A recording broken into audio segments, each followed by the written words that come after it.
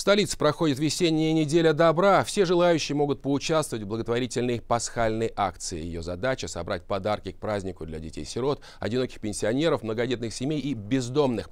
В нескольких минских супермаркетах посетителей встречают добровольцы, приглашают купить подарок для подопечных православного братства. Неравнодушные белорусы или совершают денежное пожертвование, или покупают на первый взгляд мелочи, но для нуждающихся это будет хорошей помощью.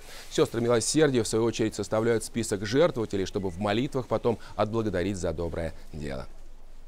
Наши вот белорусские люди, они очень на самом деле милосердные, добрые, находят возможность э, пожертвовать что-то, подарить э, частичку себя, тепла кому-то. Это очень хорошо, что проводятся такие акции. Люди помогают.